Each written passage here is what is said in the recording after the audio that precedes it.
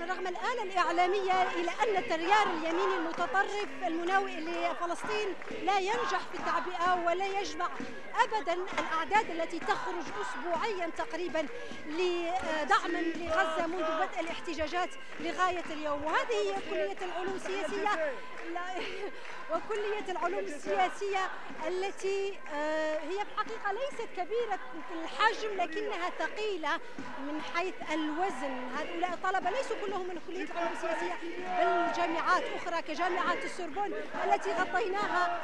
وأمس وعدة جامعات أخرى انضموا الحكومة حقيقة تخشى من امتداد هذه رياح الحرية القادمة من الولايات المتحدة ومن جامعات الولايات المتحدة أن تنتقل لفرنسا لأن لها ذكرى وتاريخ ربما. آه وتجربة مريرة مع الطلبة على على مر الثورات والاحتجاجات والانتفاضات الفرنسية مم. الداخلية آه لهذا تتفادى ربما اللجوء للقوة لأنه سيكون هناك تضامن أوسع من جامعات أخرى وهنا ستنفلت الأمور حقيقة اليسار أيضا حاضر حضرت عدة وجوه آه، يسارية بارزة صحيح. ريما حسن آه، الوجه البارز والمرشحة للأوروبيات.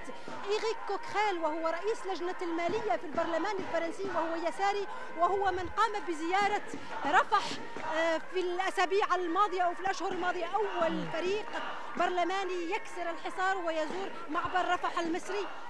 تضامنا مع غزة طبعا وعدة نواب آخرين توما بورت وأيضا أوتوان لومون كلهم من اليسار واليسار الراديكالي جاءوا دعما لهؤلاء الطلبة الذين يقولون أنهم صوت الشارع الحقيقي.